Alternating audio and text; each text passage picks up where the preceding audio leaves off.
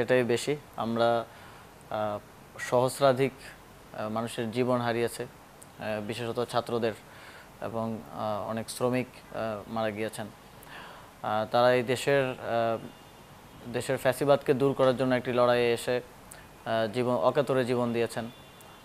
এবং তাদের এই ত্যাগের বিনিময়ে আমরা ফ্যাসিবাদ ফ্যাসিবাদ মুক্ত ফ্যাসিবাদী সরকার মুক্ত একটা বাংলাদেশ পেয়েছি। পুরোপুরি ফ্যাসিবাদ মুক্ত বলতে পারব না, কেননা যে ফ্যাসিবাদী ব্যবস্থা সেটা প্রতিটা রন্ধ্রে রন্ধ্রে রাষ্ট্রের এখনও রয়ে গেছে। এবং এই ফ্যাসিবাদী ব্যবস্থাকে উৎখাত করার জন্যই এবং রাষ্ট্রের কাঠামোগত সংস্কারের মাধ্যমে সেই উৎখাত সাধন করার জন্যই মানুষ আমাদেরকে বিশ্বাস করেছে এবং আমাদেরকে আজকের এই দায়িত্বটা দিয়েছে। এবং আমরা আশা করি যে পাওয়ার যেই হিসাবটা সেটা আমরা মানুষকে বুঝিয়ে দিতে পারব নিজেদের দায়িত্ব এবং কর্তব্য ভালোভাবে পালনের মাধ্যমে। গণতন্ত্র পুনরুদ্ধার, গণতান্ত্রিক ব্যবস্থা, ফ্যাসিবাদী ব্যবস্থা যে গণতান্ত্রিক ব্যবস্থার প্রতিস্থাপন, এটি একটি দীর্ঘমেয়াদী প্রক্রিয়া এবং ফ্যাসিবাদ তো আসলে শুধু যে রাষ্ট্রীয় কাঠামোর মধ্যে তা না, ফ্যাসিবাদ তো মানুষের মস্তিষ্কে মননে মগজেও গেঁথে গেছে। একটা কথা আমরা যখন স্টুডেন্ট একটা ভিজন করতাম তখনও বলেছি যে সেলফ সেন্সরশিপ যখন আমরা কিছু লিখতে যাই বা বলতে যাই, তখন নিজেই নিজেকে সেখানে আটকাই সেটা বলা থেকে। এটাও তো ফ্যাসিবাদের একটা হিসেবে ছিল। এবং এই যে চাঁদাবাজি মতো ব্যাপারগুলো আবার ঘটছে, এই ক্ষেত্রগুলো আসলে ফ্যাসিবাদী যেই সরকার ব্যবস্থা ছিল গত ষোলো বছর, এই ক্ষেত্রগুলো তারা তৈরি করে দিয়ে গেছে এবং সেই ক্ষেত্রগুলো থেকে এখন যখন তাদের দোসররা পালিয়ে যাচ্ছে কিংবা চলে যাচ্ছে, সেগুলো আবার দখলের জন্য চেষ্টা চলছে। আমরা মনে করি এটা যে এই ফ্যাসিবাদী সিস্টেম ছিল এই সিস্টেমেরই একটা অংশ হিসেবে আহ, এখনও যারা চাঁদাবাজির দিকে আগ্রহী হচ্ছে ওই অভ্যস্ততা থেকে আমরা জাতিগতভাবে বের হয়ে আসতে পারিনি এবং এটা আমি বলব যে যে যেসব রাজনৈতিক দলের দল সংশ্লিষ্ট লোকেরা এর সাথে জড়িত তাদেরও একটা রাজনৈতিক ব্যর্থতা তাদেরও একটা তাদের নেতাকর্মীদেরকে এই নতুন বাংলাদেশের সাথে, নতুন বাংলাদেশের চিন্তার সাথে, তারুণ্যের এই ভাবনার সাথে তাদের যেই চিন্তাগত যেই অন্তর্ভুক্তি সেটা করতে তারা ব্যর্থ হয়েছেন এবং সেই জায়গা থেকে সেই জায়গা থেকেই এই পুরনো যেই ধারণা, পুরনো যেই চাঁদাবাজি থেকে শুরু করে যে ব্যাড প্র্যাকটিসগুলো সেগুলোতে তারা এখনও আছেন। কিন্তু রাজনৈতিক দিক থেকেও আমরা দেখতে পাচ্ছি যে তাদের সদিচ্ছা আছে এবং এই বিষয়গুলোতে বিভিন্ন রাজনৈতিক দলই অভিযোগ পাওয়া মাত্র ব্যবস্থা নিচ্ছেন। তবে এটা শুধু লোক দেখানো হলে হবে না, অবশ্যই এর বাস্তবিক প্রয়োগ প্রত্যেকটি সেক্টরেই ঘটতে হবে। আমি যদি স্পেসিফিক আমার মন্ত্রণালয় নিয়ে কথা বলি এখন শ্রমিক অসন্তোষ দেখা দিচ্ছে এবং এর একটা বড় কারণ হচ্ছে ঝুট ব্যবসাকে দখল করার নিয়ে যে সন্ত্রাস হচ্ছে স্থানীয়ভাবে সেটা। এবং সেখানেও বিভিন্ন রাজনৈতিক দলের নেতা, সংশ্লিষ্ট নেতাকর্মীদের সংশ্লিষ্টতা আমরা পেয়েছি। তো এই যে ব্যাড প্র্যাকটিসগুলো চলে আসছে, যেগুলো আওয়ামী লীগ, আওয়ামী ফ্যাসিবাদ করেছে, সেগুলো রাজনৈতিক দলগুলা দলগুলোর নেতৃবৃন্দ যাতে না করে, সে বিষয়ে তারা মনোযোগ দেবেন বলে আমরা আস্থা রাখি। যদি এক্ষেত্রে ব্যত্যয় ঘটে, তাহলে এই যে নতুন বাংলাদেশের, নতুন তারুণ্যের, এই নতুন প্রজন্মের যে চিন্তা, এই চিন্তার সাথে তারা যদি নিজেদেরকে সংশ্লিষ্ট না করতে পারেন চিন্তাগত জায়গা থেকে তাহলে তারা নতুন বাংলাদেশের অংশ কতটুকু হতে পারবেন সেটা নিয়ে একটা শঙ্কা থেকে যায়। পৃথিবীতে বিভিন্ন জায়গায় পরিবারতন্ত্রে, পরিবারতন্ত্রের প্র্যাকটিস দেখা যায়, কিন্তু এখন পরিবর্তনটা আসলে এই একবিংশ শতাব্দীতে এসে দেখা যাচ্ছে যে পৃথিবীর বিভিন্ন জায়গাতে এই প্র্যাকটিসটা ভেঙে যাচ্ছে এবং ভেঙে গেছে। উন্নত অনেকগুলো দেশে আমরা দেখি যে দুইবারের অধিক প্রধানমন্ত্রী কিংবা প্রেসিডেন্ট হওয়া যাবে না এই ধরনের তাদের বিধান আছে। বাংলাদেশেও একটা জনদাবি হিসেবেই আছে যে এই বিধানটা করার। কিন্তু ইতিপূর্বে রাজনৈতিক দলগুলোর সদিচ্ছার অভাবের কারণে সেটা হয়নি। তো এই সরকারের পক্ষ থেকে এই ধরনের উদ্যোগগুলো নেওয়া গেলে এই পরিবারতন্ত্রের যে ব্যাপারটা আছে সেটাকে ট্যাকেল দেওয়া যাবে এবং পরিবারতন্ত্রের ব্যাপারটা আসলে সাবজেক্টিভ কিছু কিছু ক্ষেত্রে যদি তাদের যোগ্যতা থাকে দেশকে নেতৃত্ব দেওয়ার, দেশের মানুষ যদি তাদেরকে অ্যাকসেপ্ট করে, সেক্ষেত্রে সেটাকে পরিবারতন্ত্র না বলে তার যোগ্যতার জায়গা বলা যেতে পারে। যেটা আমরা আওয়ামী লীগের ক্ষেত্রে দেখেছি, বঙ্গবন্ধু শেখ মুজিবুর রহমান তিনি মুক্তিযুদ্ধের সময় একটা গুরুত্বপূর্ণ অবদান রেখেছেন এবং মুক্তিযুদ্ধ পূর্ববর্তী যেই আন্দোলন সংগ্রাম ছিল সেখানে নেতৃত্ব দিয়েছেন। কিন্তু তার কন্যাই তো এদেশে একটা ফ্যাসিবাদের জন্ম দিলেন এবং সেই ফ্যাসিবাদ এমন পর্যায়ে পৌঁছলো যে মানুষ গিয়ে বঙ্গবন্ধুর মূর্তিও ভাঙচুর করল। তো পরিবারতন্ত্রের এই যে খারাপ দিকটা হচ্ছে এভাবে প্রতিফলিত হয়। এবং এই যে বঙ্গবন্ধু কিংবা মুক্তিযুদ্ধকে সামনে রেখে দমন পীড়নের যেই প্র্যাকটিসটা হয়েছে, এই আদর্শকে সামনে রেখে পেছন থেকে যে দমন পীড়ন চালানো হতো, এটাকে বুদ্ধিজীবীরা ফ্যাসিস্ট অ্যানাবলার বলে। এই যে, যেই ভাবধারার জায়গা থেকে যেমন মুজিববাদ, সেই জায়গা থেকে যে মানুষের উপর নিপীড়ন করা এবং ফ্যাসিবাদকে এই একটা ভিত্তিমূলের উপর দাঁড় করানো এবং তার উপর দিয়ে মানুষের সাথে অন্যায়, অবিচার, দুর্নীতি এগুলো চালিয়ে যাওয়া। এই জায়গাগুলোর পরিবর্তন আসতে হবে এবং সেটা আসলে কতটা বিধান বিধান দিয়ে তো, বিধিবিধান দিয়ে তো অবশ্যই চেষ্টা করতে হবে, কিন্তু এটা একটা মানসিক পরিবর্তন আমার মনে হয় আসা উচিত। রাজনৈতিক দলগুলো যারা এক্সিস্টিং আছেন, যাদের মধ্যে এখন এই প্র্যাকটিসগুলো আছে তাদেরকে ওই পরিবার কিংবা পূর্বের যেই অর্জন, সেটাকে সামনে না রেখে বরং তাদের নিজেদের যোগ্যতা এবং মানুষের প্রতি তাদের যে প্রতিশ্রুতি, সেগুলো বাস্তবায়নের মাধ্যমেই রাজনীতি করা উচিত বলে আমি মনে করি। না বলার স্বাধীনতা তো থাকা উচিত। তবে এর মধ্যে কিছুটা বস্তুনিষ্ঠতাও থাকা উচিত। পারসেপশন কিংবা একটা আমার চিন্তা আর মাথায় আসলো আর বলে দিলাম। তো দায়িত্বশীল ভূমিকাটা সবার থেকেই আমরা প্রত্যাশা করি। তবে এই আন্দোলনটা খুব অর্গানিকভাবেই গড়ে উঠেছে এবং আপনারা যখন ফিল্ড লেভেলে আপনারা হয়তো দেখেছেন যে আমরা প্রথম দিকে লিডারশিপও সাফল করে করছিলাম, সামনে রাখছিলাম একজনকে একদিন আরেকদিন আরেকজনকে। যাতে করে পূর্বের আন্দোলনগুলো থেকেও আমরা শিক্ষা নেওয়ার চেষ্টা করেছি। দু হাজার আঠেরো সালে কুসংস্কার আন্দোলন হয়েছে এবং সেটা নিয়ে এবং তার পরবর্তী তাদেরও রাজনৈতিক অগ্রযাত্রা নিয়ে অনেক কোশ্চেন আছে। তো সেই জায়গা থেকে আমরা শিক্ষা নেওয়ার চেষ্টা করেছি এবং অর্গানিকভাবে এই আন্দোলনটা গড়ে উঠেছে। কিন্তু বিভিন্ন ধারাবাহিকতায় যেমন সরকারের বিভিন্ন সংস্থা থেকে আমাদের কয়েকজনকে প্রথমে তুলে নিয়ে যাওয়া হলো। তারপরে ডিবি তুলে নিয়ে গেল। তারপর দেখা যায় সুন্দর করে কথা বলতে পারা, বক্তব্য এবং স্ট্র্যাটেজির জায়গা থেকে। এই থেকে নেতৃত্ব অর্গানিকভাবেই গড়ে উঠেছে এবং বিভিন্ন ঘটনার ধারাবাহিকতায় কথায় আসলে বিকশিত হয়েছে, এবং সেই জায়গা থেকে যখন আমাদের উপরে একটা দায়িত্ব আসলো সরকার গঠনের, তখন আমরা এই প্রয়োজনীয়তাটা অনুভব করলাম। কারণ দেখেন উনসত্তরে গণ অভ্যুত্থান হয়েছে, নব্বইয়ে গণ অভ্যুত্থান হয়েছে। কিন্তু গণ অভ্যুত্থানের পরে আমরা সেটাকে আর বাঁচিয়ে রাখতে পারিনি, সেই স্পিরিটটাকে ধরে রাখতে পারিনি। নব্বইয়ের গণ অভ্যুত্থানের একটা প্রতিবাদ্য ছিল গণতন্ত্র ফিরিয়ে আনা, কিন্তু ছিয়ানব্বই, পঁচানব্বইতেই আমরা গণতন্ত্রের উপর ধাক্কা দেখেছি এবং দুই হাজার সাত, আটেও দেখেছি। এবং সর্বশেষ ফ্যাসিবাদও ফিরে এসেছে। তো সেই স্পিরিটটাকে তো আমরা ধরে রাখতে পারিনি। তো সেখানে আমাদের মনে হয়েছে যে রাজনৈতিক যেই সদিচ্ছার অভাব, সেই সদিচ্ছার অভাবের কারণে এটা সম্ভব হয়নি। সেই জায়গা থেকে আমরা মনে করেছি, দেশের মানুষ মনে করেছে, ছাত্ররা মনে করেছে তাদের প্রতিনিধিত্ব সরকারে থাকা উচিত এবং গণঅভ্যুত্থানের যে স্পিরিট আছে গণঅভ্যুত্থানে মানুষ যেই কারণে জীবন দিয়েছে, সেগুলো যেন বাস্তবায়ন নিশ্চিত হয়, সেটার জন্যই আমাদেরকে ছাত্রদের মধ্য থেকেই তারা নির্বাচিত করেছে এখানে তাদের প্রতিনিধিত্ব করার জন্য। এবং সেটা আমরা নিশ্চিত করব। পুরোটা জিনিস ন্যাচারাল এবং অর্গানিক ছিল, সবার সামনে দিয়েই ঘটেছে। এখন অনেক কনস্পারেসি থিওরি আসতে পারে এবং তাদের সেটা বলার স্বাধীনতা আছে অবশ্যই। আমরা এটাকে ওয়েলকাম করি। এই যে কথা বলার স্বাধীনতা যে আমার বিরুদ্ধে কেউ বলতে পারছে এবং সন্দেহ প্রকাশ করতে পারছে, এটার জন্যই তো আমরা লড়াইটা করেছি। আমার মনে হয়েছে যে আন্দোলনের যেই ধারাবাহিকতা, যেই আন্দোলনের ছাত্রদের যে স্পৃহা, সেটাকে দমিয়ে দেওয়ার জন্য, নষ্ট করার জন্যই আমাদেরকে উঠিয়ে নেওয়া যাওয়া হয়েছিল। শুক্রবার রাত এগারোটায় শুক্রবার উনিশ তারিখ কি আঠারো তারিখ ছিল?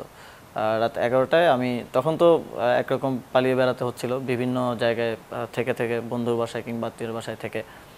এবং প্রতিদিনই জায়গা পরিবর্তন করতে হচ্ছিল, কারণ যোগাযোগ রাখার জন্য ফোন, এবং আপনারা জানেন যে ফোন ট্রেস করে, ধরার একটা প্র্যাকটিস তো বাংলাদেশে আগে থেকেই এই ফ্যাসিবাদী সরকারের আমলে ছিল। তো আমি স্থান পরিবর্তন করছিলাম, তখন আমাকে আসলে উঠে নিয়ে যাওয়া হয়। কারা উঠে নিয়ে গিয়েছিল আমি এখনও আবিষ্কার করতে পারিনি। এবং নাহিদ ভাইকেও পরে আমি বের হওয়ার পরে জানতে পারলাম যে সেদিনই মধ্যরাতে। আমাদের মনে হয় যে আন্দোলন থেকে দূরে রাখার জন্য আন্দোলনের যেই মূল নেতৃবৃন্দের একটা অংশকে সরিয়ে নেওয়ার চেষ্টা করা হয় এবং তারপরে আমাদের বাকি যারা নেতৃবৃন্দ বাইরে ছিলেন, তাদেরকে ভয়ভীতি দেখিয়ে তাদেরকে যমুনায় নিয়ে গিয়ে স্টেটমেন্ট দেওয়ানো হয়। তো আন্দোলনকে নস্বাত করার জন্য এবং আন্দোলন থেকে আমাদেরকে দূরে রাখার জন্য এই ধরনের কার্যক্রম হয়েছে এবং পরবর্তীতে যখন আমরা হাসপাতালে ভর্তি অবস্থায় ছিলাম, চিকিৎসা নিচ্ছিলাম তখনও আবার আন্দোলনকে চাঙ্গা করার কোনো ষড়যন্ত্র করছে কিনা এই সন্দেহে আমাদেরকে সেখানে অবরুদ্ধ করা হয়। অবরুদ্ধ থাকা অবস্থায় আবার ডিবিতে তুলে নিয়ে যাওয়া হয়। তো মূলত জনগণের সাথে আমাদের এই সম্পৃক্ততাটাকে বন্ধ করার মাধ্যমে তারা আন্দোলনটাকে দমন করার প্রক্রিয়া হিসেবে নিয়েছিল, কিন্তু এদেশের মানুষ আসলে সেই প্রক্রিয়াতে ব্যাঘাত ঘটিয়েছে এবং তারা আন্দোলন চালিয়ে গিয়েছিল, আমাদের মুক্তির জন্য আন্দোলন করেছিল। ভেতরে আমরা সর্বোচ্চ চেষ্টা করেছি যাতে যত দ্রুত মানুষের কাছে ফিরে আসতে পারি, সেজন্য আমরা অনশনেও গিয়েছিলাম। এবং সবশেষে আমরা মানুষের মানুষের সাথে মিলিত হতে পেরেছিলাম এবং সারা দেশের মানুষের যে চাওয়া ছিল এক দফা সেটা ঘোষণার মাধ্যমে আন্দোলনের একটি চূড়ান্ত পরিণতির দিকে যেতে সক্ষম হয়েছে। না, আমি, আমার প্রথম দিনেই যুব ক্রীড়া মন্ত্রণালয়ের দায়িত্ব যেদিন নিয়েছি সেদিনে আমি মন্ত্রণালয়ে বলেছিলাম যে ব্যক্তির পরিবর্তন তো দীর্ঘমেয়াদে আমাদের সফলতা এনে দেবে না। আমাদের কাঠামোটার পরিবর্তন করতে হবে এমন একটা কাঠামো গড়ে তুলতে হবে যেই কাঠামোর মধ্যে কোনো খারাপ মনোভাব নিয়ে কোনো ব্যক্তি আসলেও যাতে তিনি এটাকে নষ্ট না করতে পারেন। কিন্তু ব্যক্তির পরি- পরি- পরিবর্তনটাও প্রাথমিকভাবে প্রয়োজন কারণ সবগুলো ফেডারেশনই রাজনৈতিক ব্যক্তিবৃন্দ লিডারশিপে বসে আছে, যে কারণে ফেডারেশনগুলো ভালোভাবে ওয়ার্ক করছে না। অনেকগুলো ফেডারেশনের অফিস দেখা যায় রাজনৈতিক কার্যালয় হিসেবে ব্যবহৃত হয়েছে এতদিন। তো সেই জায়গা থেকে ব্যক্তির পরিবর্তনগুলো হচ্ছে বিভিন্ন জায়গায় এবং হবে, সেগুলো ডিউ প্রসেস ফলো করেই হবে। কিন্তু কাঠামোগত পরিবর্তনটাতে আমরা বেশি, আমি বেশি মনোযোগ দিচ্ছি। বিসিবির প্রেসিডেন্টের সাথে আমার এই বিষয়ে, তিনি প্রেসিডেন্ট হওয়ার আগেও কথা হয়েছে, এখন কথা হচ্ছে যে বিসিবির যেই কনস্টিটিউশন আছে, সেটাকে কীভাবে আরও গণতান্ত্রিক করে তোলা যায়। এবং সেখানে কীভাবে এই কাঠামোটাকে গাইডলাইনগুলো দেওয়া যায় যাতে করে এই ক্রীড়াক্ষেত্রে বিসিবিতে ক্রিকেটের ক্ষেত্রে কোনো ধরনের ভবিষ্যতে এরকম ব্যক্তির আবির্ভাব হওয়ার সুযোগ না থাকে যারা এটাকে স্পয়েল করতে পারে। এবং শুধু বিসিবি না, বাফুফে সহ আরও সব, প্রত্যেকটা ফেডারেশন যেহেতু আমাদের মন্ত্রণালয়ের এনএসসির অধীনে তারা আসে। তো এনএসসি থেকেও আমরা একটা প্রপার গাইডলাইন কীভাবে তৈরি করা যায় এই বিষয়ে পরিকল্পনা করছি এবং আমি মনে করি এই কাঠামোগত পরিবর্তন করা সম্ভব হলে ভবিষ্যতে কেউ চাইলেই ক্রীড়াক্ষেত্র একজন ফ্যাসিস্ট ছিল, সে সেরকম ফ্যাসিস্ট হয়ে উঠতে পারবে না। এবং সেটাই আমরা নিশ্চিত করার দিকেই মূলত জোর দিচ্ছি। ব্যক্তির পরিবর্তনটা সাময়িক, কাঠামোগত পরিবর্তনটাই দীর্ঘমেয়াদী হবে।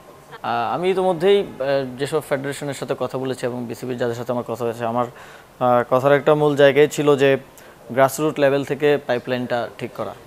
এক্ষেত্রে আমি যদি উদাহরণ দিই ভারত এক্ষেত্রে ক্রিকেটে, ভারত শুধু ক্রিকেট না, অন্যান্য খেলাগুলোতেও তারা ভালো করছে। তাদের এই স্ট্রাকচারটা থাকার কারণে, এই পাইপলাইনটা থাকার কারণে। এখন আমরা দেখি যে যদি একজন ওপেনার না খেলেন লাস্ট বিশ্বকাপে আমরা দেখেছি যে ওপেনিং জুরিটা পাঁচ ছয়বার চেঞ্জ হচ্ছে। কারণ আমাদের কোনো বেটার অপশন নেই, আমাদের ওই পাইপলাইনটা রেডি নেই। কিন্তু ভারতে আপনি যদি খেয়াল করেন যে একজন না থাকলে আরও তিনজন আছে যারা পারফর্ম করছে, যারা ভালো পজিশনে আছে। তো আমার মনে হয় যে এটা পাইপলাইনটা আমাদের একদম গ্রাসরুট লেভেলে ঠিক করতে হবে। আমি এসে যেটা পেয়েছি যে বিভিন্ন জেলায় জেলা টুর্নামেন্ট হচ্ছে না আট থেকে দশ বছর ধরে। তো আমার মনে হয় এগুলো একটা আহ, এইগুলোর কারণেই মূলত আমাদের পুরো স্ট্রাকচারটা ভেঙে পড়েছে। এটাকে আবার পুনর্গঠন করতে হবে এবং জেলা ক্রীড়া সংস্থা বিভাগীয় ক্রীড়া সংস্থাগুলো আমরা ভেঙে দিয়েছি ইতিমধ্যেই এবং সেগুলোকে আমরা ইনক্লুসিভভাবে গঠনের একটা রূপরেখা দিয়েছি এবং সেভাবে গঠনের মাধ্যমে এবং তাদের, তারা যাতে ঠিকভাবে কাজ করে, সেই অ্যাকাউন্টেবিলিটি জবাবদিহিতা রাখার মাধ্যমে ক্রীড়াক্ষেত্রে একটা পরিবর্তন আমরা প্রত্যাশা করছি। ইতিমধ্যে আমরা কিছু কাজ শুরু করেছি। আমরা খুব দ্রুতই তদন্তের ভিত্তিতে, শুধুমাত্র অভিযোগের ভিত্তিতেই কারোর বিরুদ্ধে ব্যবস্থা নেওয়া যায় না।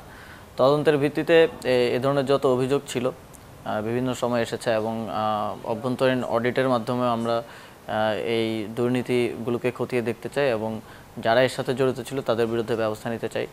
ইতিমধ্যে বিসিবি শুরু করে দিয়েছে কার্যক্রম। এছাড়াও মন্ত্রণালয়ে আমরা সবার সরকারিভাবেই প্রত্যেক সরকারি কর্মকর্তাদের সম্পত্তির হিসাব চাওয়া হয়েছে। এবং এই কাগজের সাথে বাস্তবতার কতটুকু মিল অমিল আছে এবং কোথায় কে কোন প্রজেক্টে দুর্নীতির অভিযোগ ছিল বা এই সব কিছু নিয়ে তদন্তর ভিত্তিতে আমরা আসলে সিদ্ধান্ত নিব। এবং এ ধরনের কার্যক্রম যাতে ভবিষ্যতে আর না করতে পারে সেটাও নিশ্চিত করার ব্যবস্থা আমরা করব। ইতিমধ্যে আপনারা হয়তো দেখেছেন যে আমাদের মন্ত্রণালয় থেকে একটা প্র্যাকটিস ছিল যে, খেলোয়াড়দের সাথে অতিরিক্ত টিম অফিসিয়ালস এবং সংশ্লিষ্ট না এমন লোকজনেরও বিদেশে বিদেশে যাওয়া, এক ধরনের এটাকে ট্যুরে পরিণত করা। তো সেই প্র্যাকটিসটা ভাঙার জন্য ইতিমধ্যে আমি নির্দেশনা দিয়েছি এবং একটা সিদ্ধান্তেরও পরিবর্তন করেছি যেটা আগের মিনিস্টারের সময় নেওয়া হয়েছিল। এবং এ ব্যাপারে একদম প্রত্যেকটা ফেডারেশনকে আমাদের নির্দেশনা দেওয়া হয়েছে, অপ্রয়োজনীয় ট্যুর যেন পরিহার করে। এবং অপ্রয়োজনীয় যে কোনো খরচের বিষয়ে কিন্তু সরকারের পক্ষ থেকে একটা নির্দেশনা এসেছে যে উপদেষ্টাদেরও ব্যয় ইয়াতে তারপরে খাবারের, নাস্তার ক্ষেত্রেও কৃচ্ছতা সাধন। তো এই প্রত্যেকটি জায়গাতেই আমরা পরিবর্তন আনার চেষ্টা করছি এবং দুর্নীতিকে একেবারে জিরোতে কীভাবে নামিয়ে আসা নিয়ে আসা যায়। যে ব্যক্তিরা ইতিপূর্বে সংশ্লিষ্ট ছিলেন, তাদের বিরুদ্ধে ব্যবস্থা নেওয়াই হবে। পাশাপাশি কাঠামোটা এমনভাবে তৈরি করা যাতে কেউ সংশ্লিষ্ট না হতে পারেন ভবিষ্যতে, সে বিষয়ে এই সরকার কাজ করতে সর্বোচ্চ সদিচ্ছা রাখে। আমার মনে হয় না পুরোটাই পরিকল্পিত। এখানে দীর্ঘ ষোলো বছর যাবৎ দেশের মানুষ তো তাদের কথাগুলো বলতে পারেনি। প্রত্যেকেরই আক্ষেপ আছে, প্রত্যেকেই কোনো না কোনোভাবে বৈষম্যের শিকার। এবং সবারই অনেকগুলো দাবি আছে। ন্যায্য অন্যায্যতার হিসেবে না যাই। কিন্তু এই যে কথা বলার একটা সুযোগ, একটা পরিবেশ তৈরি হয়েছে এটাকে মানুষ এই পরিবেশটাকে তারা কাজে লাগাতে চাচ্ছে। এই জায়গা থেকে অনেকের দাবি দেওয়া আছে, অনেকগুলো ফ্যাক্টরিতে স্যালারি দেওয়া হচ্ছে না দীর্ঘদিন ধরে। সেখানকার শ্রমিকদের মধ্যে ক্ষোভ আছে। কিন্তু তাদের মধ্যে আমাদেরকে, এই সরকারকে সময় দেওয়ারও মানসিকতা আছে। আমি যখন শ্রমিক নেতৃবৃন্দের সাথে বসলাম, তারা সর্বোচ্চ আগ্রহী এই সরকারকে সময় দেওয়ার মাধ্যমে এবং আলোচনার মাধ্যমে এই বিষয়গুলো সমাধান করা শর্ট টার্ম সমস্যা এবং লং টার্ম সমস্যাগুলো সমাধান করার ক্ষেত্রে তারা আগ্রহী এবং সেটা আমরা ভবিষ্যতে করব। কিন্তু কিছু কিছু জায়গায় ইন্ধনও রয়েছে এবং শ্রমিক নেতৃবৃন্দে আমাকে বলেছেন যে এবারের আন্দোলনের চিত্রটা একটু ভিন্ন। কখনোই শ্রমিক আন্দোলনে এরকম হয় নাই। সবসময় শ্রমিক আন্দোলনটা তারাই বরং কষ্ট করে শ্রমিকদের সাথে কথা বলে সংগঠিত করতে হয়েছে। যেমন গত বছরে মজুর মজুরির জন্য শ্রমিকদের আন্দোলন হয়েছে। কিন্তু এবারের চরিত্রটা ভিন্ন। কোথাও যদি একটা কারখানার বিশজন শ্রমিক বের হচ্ছে, সেখানে বহিরাগত মিলে টেলে সেখানে দুই তিনশো হয়ে যাচ্ছে এবং তারা রাস্তা অবরোধ করছে। তো সেই জায়গা থেকে তারাও শঙ্কার মধ্যে আছেন। যে বাংলাদেশের যে শিল্প এবং এই শিল্পের যে বাজার আমাদের আছে, সেই বাজার দখলের কোনো প্রকার পরিকল্পনা আছে কিনা এর মধ্যে এ বিষয়ে তারা সন্দিহান এবং এখানে কিছু নতুন ডাইমেনশন তৈরি হয়েছে, যেমন বেকার যুব সংঘের নামে এসে গাড়ি ভাঙচুর করা এবং কলকারখানায় হামলা করা। কোনো শ্রমিক তার কারখানায় হামলা করবে না, কেননা একটা কারখানা যদি বন্ধ হয়, সবচেয়ে বেশি ক্ষতিটা হয় শ্রমিকের। শ্রমিক শ্রমিকরা বাংলাদেশে খুবই অল্প বেতন দিয়ে তাদের চলতে হয় এবং সেটাও যদি বন্ধ হয়ে যায়, তাহলে তাদের পরিবারের ভরণ পোষণ বন্ধ হয়ে যাবে। এবং কিছু কিছু জায়গায় এমনও হয়েছে যে বহিরাগতরা হামলা করতে এসেছে, শ্রমিকরা এসে প্রতিহত করেছে।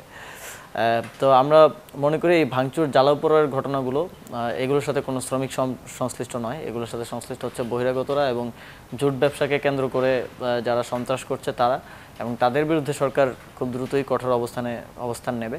কিন্তু শ্রমিকদের যে ন্যায্য দাবি আছে, সেই দাবিগুলো নিয়ে ত্রিপক্ষীয় বৈঠকের মাধ্যমে আমরা খুব দ্রুত সময়ের মধ্যে তাদের শর্ট টার্ম দাবিগুলো কীভাবে পূরণ করা যায় ইতিমধ্যে আপনারা জানেন আমরা দু হাজার তেইশ সালে তাদের বিরুদ্ধে যে নিপীড়নমূলক মামলাগুলো হয়েছে তেইশের মজুরি বৃদ্ধির আন্দোলনে। সেই মামলাগুলো তুলে নেওয়ার প্রক্রিয়া শুরু করেছি। আইন মন্ত্রণালয়ের সাথে কথা বলার মাধ্যমে, আলোচনার মাধ্যমে সেই প্রক্রিয়া চলমান আছে। খুব দ্রুতই আশা করছি সেই মামলাগুলো তুলে নিতে পারব আমরা। এরকম তাদের আরও যেই শর্ট টার্ম দাবিগুলো আছে, সেগুলো খুব দ্রুতই কীভাবে ত্রিপক্ষীয় বৈঠকের মাধ্যমে সমাধান করা যায়, সে বিষয়ে আমরা সচেষ্ট আছি। কিন্তু যারা এখানে অনুপ্রবেশকারী আছে, বহিরাগত আছে, যাদের এই সেক্টরের সাথে কোনো সম্পর্ক নেই, বাংলাদেশের শিল্পকে ধ্বংস করার বাজার দখল করার জন্য পরিকল্পিতভাবে করছে। তাদের বিরুদ্ধে আমরা শক্ত অবস্থান নেব। শুধু চা শ্রমিকরা না, সকল শ্রমিকদের জন্যই আমাদের কাজ করার চিন্তা আছে। আমরা যখন সরকারে ছিলাম না, তখনও আমরা শ্রমিকদের সকল ন্যায্য দাবিতে আন্দোলনে ঢাকা বিশ্ববিদ্যালয়ের রাজু ভাস্কর্যে তাদের পাশে দাঁড়ানোর চেষ্টা করেছি, সংহতি জানিয়েছি। শ্রমিকদের বেতন বেতন কাঠামো নিয়ে একটা আলোচনা সবসময়ই থাকে। এই সরকার, শ্রমিকদের আমরা যখন ত্রিপক্ষীয় বৈঠক হয়, আমি তো এটাকে ত্রিপক্ষীয় বলি না। আমি আমার জায়গা থেকে বলি দ্বিপক্ষীয়, কারণ আমি শ্রমিকের পক্ষ থেকে এই কথা বলব। এবং এই সরকার তাদেরকে বর্তমান বাস্তবতায়, আমাদের অর্থনৈতিক বাস্তবতায় সর্বোচ্চটা কীভাবে শ্রমিকদের জন্য করা যায়, সেজন্য কাজ করে যাবে। এবং একই সাথে মালিকের স্বার্থ রক্ষা করতে হবে, কারণ মালিকের স্বার্থ রক্ষিত না হলে শ্রমিকের স্বার্থ বিপন্ন হবে। সেই জায়গা থেকে যেহেতু ব্যাপারগুলো কমপ্লেক্স কীভাবে সকল পক্ষকে খুশি রাখার মাধ্যমে, শ্রমিকদের ন্যায্য পাওনা তাদেরকে বুঝিয়ে দেওয়ার মাধ্যমে এই সেক্টরে কাজ করা যায়, সেটা আমরা আরও আবিষ্কার করব এবং এ বিষয়ে সকল স্টেক হোল্ডারের সাথে কথা বলার মাধ্যমে আমরা সিদ্ধান্তগুলো নিব। আমরা যখন শ্রমিক নেতৃবৃন্দের সাথে আলোচনা করেছি, শ্রমিক নেতৃবৃন্দের একটাই অভিযোগ যে আপনারা তো কথাই, সরকার তো কথাই বলে না। আগে যে সরকার ছিল, তাদেরকে তো শ্রম মন্ত্রণালয়ে ডেকে নিয়ে এসে যে কথা বলা, এই সুযোগটাই তাদের ছিল না। এটা আমরা নিশ্চিত করব এবং সবগুলো উপকমিটিতে যেন- ইতোপূর্বে যতগুলো উপকমিটি আছে, সবগুলোতেই শ্রমিক লীগের লোকজন দখল করেছিল। এখন আমরা শ্রমিকদের যে প্রকৃত প্রতিনিধিত্বকারী নেতৃবৃন্দ আছেন, তাদেরকেই সেখানে নিব, যেন শ্রমিকদের কথাগুলো সেখানে প্রতিফলিত হয়।